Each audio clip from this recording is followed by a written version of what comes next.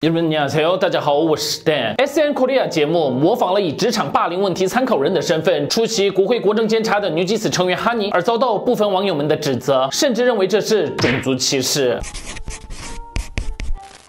在十月十九号公开的 S N N 中，演员吉恩模仿了哈尼在日本东京演唱会上穿的服装登场，并演出了遭受职场霸凌的情景，也模仿了当天与哈尼自拍而引起争议的片段。然而，节目中将越南裔欧洲人哈尼略显生疏的韩语发音作为笑料，引发了种族歧视的争议。此外，由于哈尼出席国政监察是为了讨论职场霸凌问题，将此作为笑话的行为被批评为非常不妥当。因此，S N N 故意模仿外国人哈尼不太流利的发音，或夸张的描绘他哭泣。的样子让部分网友们觉得这是对哈尼的嘲弄、种族歧视，从而引发了愤怒。目前，许多粉丝们在论坛和 SNS 上要求 SNL 方面的道歉。我们来看一下韩国网友们的反应。撇开其他不谈，模仿外国人不流利的韩语发音当做笑料，这就是明显的种族歧视。在国外，这种事情早已被视为禁忌。如果韩国人在国外看到自己的英语发音被当作笑话来用，也一定会感到很生气吧？那为什么在韩国的节目中还会把这样的事情当作笑料播出呢？写这个剧本的编剧毫无思考，只顾演戏的。演员还有拍摄这些内容的工作人员，真的都是一样的人。哎，S N 呢之前也恶搞过米妮姐、庞西尔汉的 s e r a p i 甚至连和贝尤丽萨的一般人也模仿过，这都可以接受。那为什么偏偏到汉尼这里就不行了呢？内容其实还比以前几位轻了不少，但为什么就这么不行呢？那跟那些嘲笑亚洲人眼睛的外国人模仿眯眼的动作有什么区别呢？到底是抱着什么样的意图在模仿？到底哪里好笑呢？我本来只是觉得是在用平时热门的话题当做梗来用，没想到让这么多人感到不舒服啊！这让人心痛。没有公司保护的女祭司。以后可能会在各个地方被这样不断的攻击和批评吧。没有讽刺的模仿，只是丑化罢了。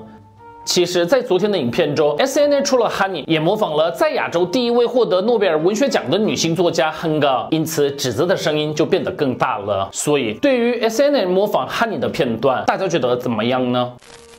下个消息是，十月十八号，BLACKPINK 成员罗杰与 Bruno Mars 合作的新歌《Apart》在韩国各大音乐榜上取得了非常亮眼的成绩。在没有任何宣传的情况下，突然公开的《Apart》MV，在公开后排名迅速攀升，一举登上了 YouTube 热门影片一位，目前已突破了五千三百多万的观看，在美伦 Top 百榜单上登上了一位。这里的《Apart》是韩国人在大学聚会或公司聚餐，总之是喝酒的时候会玩的游戏。参加者围成一圈坐下，随着 Apart Apart 的口。令，双手交叠，模仿堆叠的公司结构。其中领头的一个人喊出楼层数字时，参加者需要按照指示从底层开始一层一层将手抽出的游戏。据了解，罗杰是在与工作室的工作人员一起玩这个阿巴特游戏时获得灵感，并由此开始创作了这首歌曲。而这首歌有几个片段是韩国人非常喜欢的部分。首先是弹吉他的片段，不愧是 K-pop，连弹吉他也是刀群舞。罗杰随意的抢走 Bruno Mars 的墨镜。被 Bruno Mars 射出的丘比特箭击中后倒下的裸箭，挥舞着韩国国旗的 Bruno Mars，戴着星星眼镜，唱着 A But A But 的两位巨星，亲 Bruno Mars 脸颊的裸箭，完美结尾。